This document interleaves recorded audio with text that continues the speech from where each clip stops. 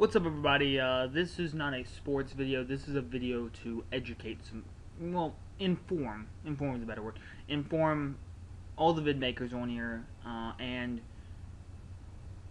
all my subscribers, and just, just get the message out. Um, there's a bill, uh, S978, uh, in Congress right now, which its purpose is to make, um, the streaming of vids uh,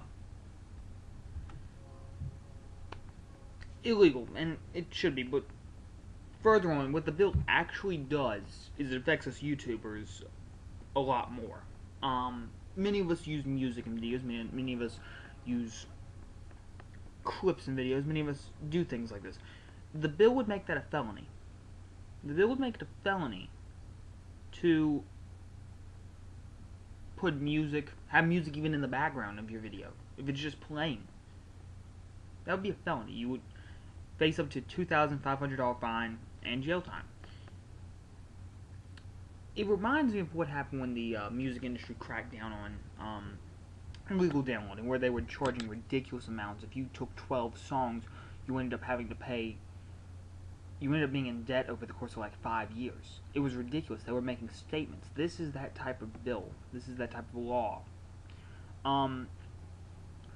Um. So there's this petition out there to stop it, and the rationale behind the petition, and I find it funny because it, it makes sense. I don't like his music, but it's about Justin Bieber. If the bill had been around when Justin Bieber started out, he started off by covering songs he would have gone to jail under this law. Um, you know, it's just, uh,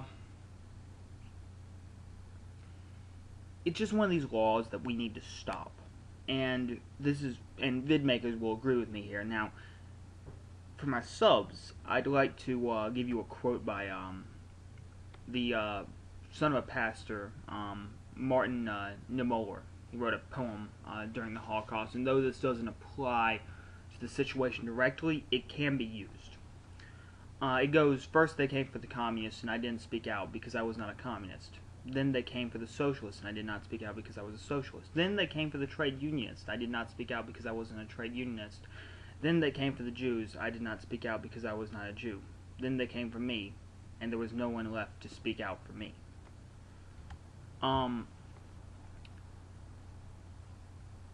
this is one of those laws, much like if you were to ban video games, movies, that type of stuff, that creates a rolling ball effect.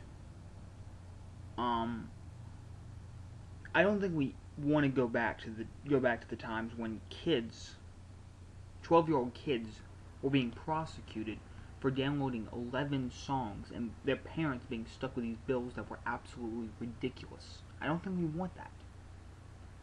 So I'm gonna I'm putting out this petition out there. Um, click on it, sign up. Just uh, you know, it's the first step. If you want to take more steps, there's more information out there. You should do some more. You should do your own research if you want to take more steps. Um, you know, um, it's just I'm just trying to get the information out there. I just thought you guys should know. So, uh, you know, I'll have my Tennessee vid out later on BBD if you see this video. Uh, you know, go ahead and uh, PM me a bet if you want to do it. Bill Ferrall, same with you. Rondo, same with you. I pretty much just want to make a bet for this Tennessee game. You know, haven't made a bet uh, since Auburn and uh, kind of raring to do it again. So, uh, you know, until I make that video later in the week. Peace. Links down below. Sign for the petition if you want to. I just thought I'd get the word out there.